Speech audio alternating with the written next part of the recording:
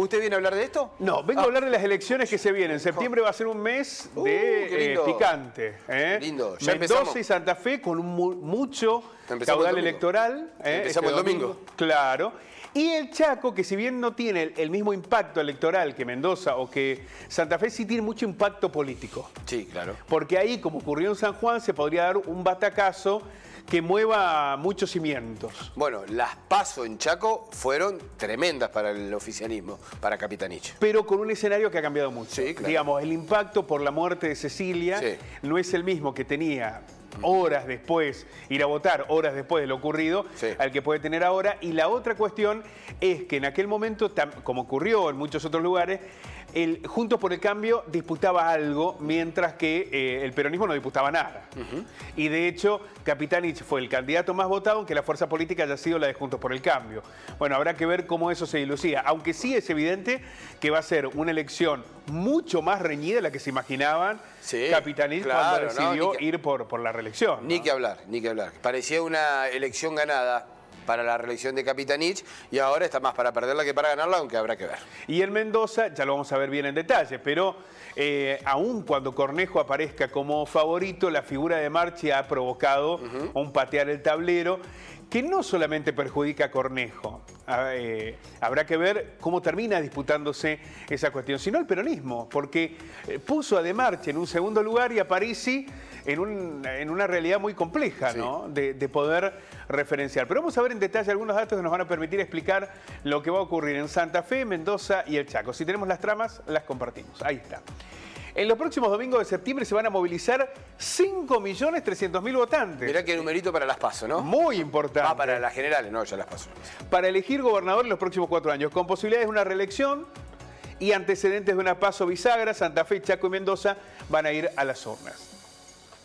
Elecciones en Santa Fe. El 6 de julio, el 16 de julio, cuando se realizaron las pasos, Unidos para Cambiar de Santa Fe tuvo un clarísimo triunfo a través del ex ministro de Seguridad Maximiliano Puyaro. En total, la alianza opositora eh, Unidos por, eh, para Cambiar logró un 35% de los votos, muy por encima del 15% del oficialismo provincial. Ahora, cuando uno mira estos números, dice, está bien, Puyaro logró una diferencia muy importante sobre Lozada y también sobre Lewandowski, que quedó eh, en un segundo lugar bastante relegado. Sí. Pero es un 35, son 35 puntos. Sí. Hay que ver cómo eso finalmente se traduce en la elección general. Todo parece indicar que Puyaro corre con una clara ventaja. Pero ojo, ¿no? Porque insistimos con lo mismo.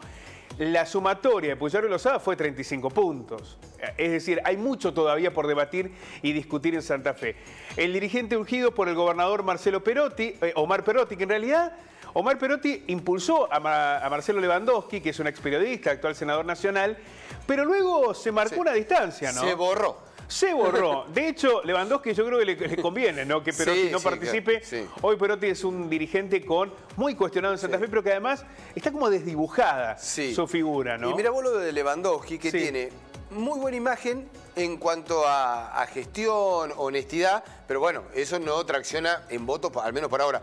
Pero es muy bien visto, ¿no? Así Perotti, que tiene una imagen No, muy claro. Bueno, por eso pensaron en Lewandowski como una referencia de renovar el peronismo santafesino. Pero, eh, bueno, la, la oleada que se dio Sí. eh, en la mirada para, para Puyaro es que, mo- que modificó el escenario y además nadie esperaba que Lewandowski sacara solamente ese porcentaje de voto y muchos le adjudican a que el peronismo, muy fragmentado en Santa Sí. Fe, no sabía para dónde jugar. Bueno, ahora parecería que eso está más claro, ¿no?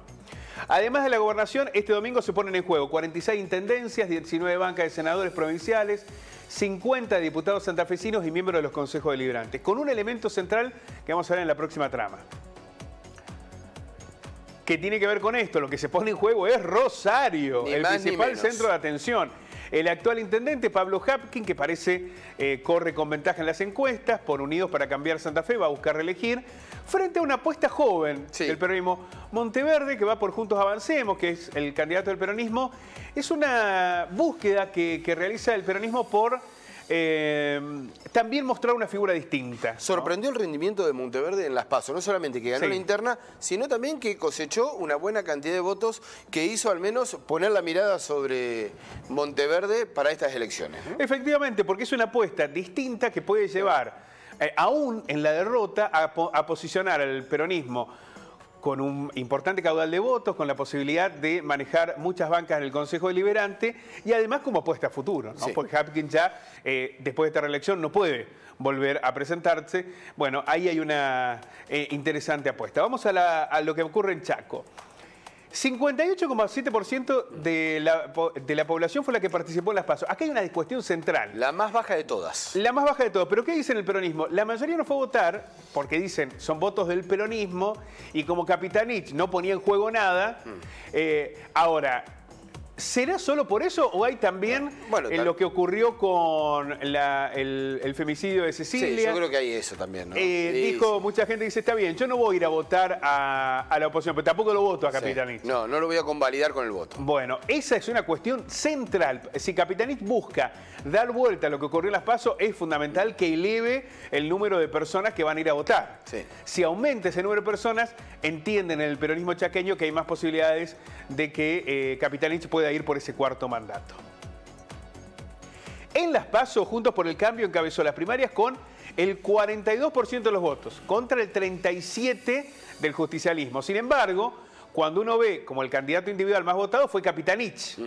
Al frente va a tener al arquitecto y legislador provincial Leandro Esdero, que aspira a dar el batacazo. La duda que hay es, porque también fue muy, eh, no quiero decir la palabra cruenta, pero sí muy áspera la- la- el debate y la discusión entre los dos candidatos de Juntos por el Cambio. Por Sí. lo cual, también aquí, como ha ocurrido en otros lugares, la duda es, ¿todos los votos van a ir para Esdero?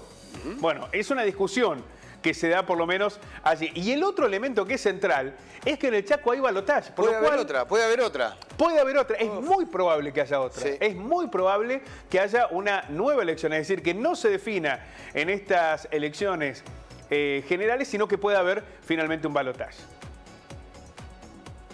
En Mendoza, a ver, Alfredo Cornejo fue el candidato más votado en las PASO, pero perdió muchos votos con su rival de la interna, Luis Petri, que sacó más de cinco puntos, y sobre todo con su ex aliado, Omar de Marchi, un dirigente del PRO, que rompió conjunto por el cambio y obtuvo 23,3% de los votos, quedó a 7 Sí. de Cornejo, a 8 de Cornejo. Y muchos se preguntan, bueno, pero la diferencia es, Cornejo no habrá logrado un techo y de marcha apenas el piso. Bueno, este es un debate que se está dando hoy en Mendoza, porque después de aquella elección, la- el resto de las votaciones en los municipios los terminó ganando el peronismo Sí. o, en uno de los casos, eh, un candidato relacionado con De Marchi. Y la pregunta es, ¿puede subir Cornejo, puede sumar, por ejemplo, los votos de Petri? Petri. ¿Puede crecer eh, a partir de la buena imagen que tiene, por ejemplo, el gobernador de Mendoza Suárez? ¿O la, la opción de De Marchi se va a consolidar? Bueno, esto es una cuestión que hoy debate fuertemente allí en Mendoza. El peronismo mendocino está representado por Omar Parisi, el ex intendente de Luján de Cuyo, que tiene una buena imagen en Mendoza. El problema es que el peronismo se ha ido desdibujando en su potencialidad. Él- fue la peor elección, la de las Sí. PASO, desde el regreso de la democracia. Eh, y aún con la fortaleza que, tiene de gobernar a muchas de las ciudades más importantes. De hecho, por ejemplo, gobierna San Rafael y fueron reelectos, en varias, eh, Maipú.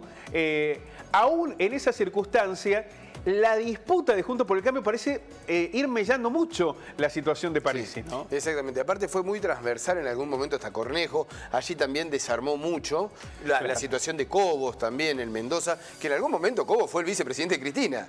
Bueno, claro. Eh, digamos, eh, todo eso sí, eh, sí. fue desarmando la estructura del Partido Justicialista en Mendoza, que hoy por hoy no tiene prácticamente referencias provinciales. Sí tiene a Sagasti a nivel nacional, pero que en la provincia, más allá de algunos intendentes, le cuesta encontrar a alguien que aglutine todo. ¿no? Bueno, habrá que ver qué pasa con Parisi. Hablan también desde el peronismo, lo mismo que ha sucedido un poco en el Chaco y en, en Santa Fe. Bueno, la pelea era de ellos. Eh, ahora que ya pasó las pasos, que ya eh, se conoce el resultado de las pasos, bueno, es momento de eh, abroquelar y hay alguna expectativa, sobre todo por lo que ocurrió el pasado domingo, donde el peronismo arrasó en todas las intendencias que puso en disputa.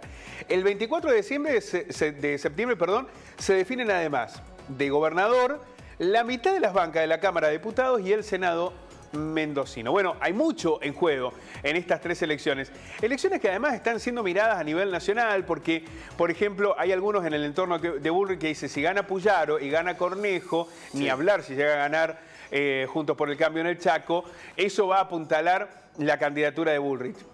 si, vemos lo que ha ocurrido... Ya lo hemos visto que no Ya hemos visto que no. es lo mismo la elección nacional que la provincial o que la municipal. Se votan condiciones distintas, candidatos distintos y se evalúan circunstancias distintas. Pensar, por ejemplo, en Mendoza ganó Milei.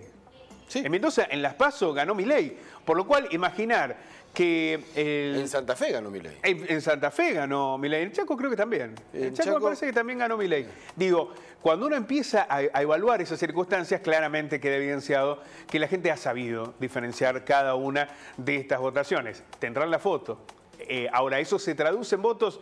Bueno, eh, esa es la, otra discusión. Bueno, pensaba también en San Luis, ¿no? Que ganó mi ley y, a pesar de que Poggi logró uno de los batacazos históricos, digo, no se trasladan directamente los votos, pero será una imagen para, para analizar y para contextualizar a partir de lo que ocurre en septiembre, porque después ya vienen las generales presidenciales. Gracias, Pablo. A ustedes. Nos vemos.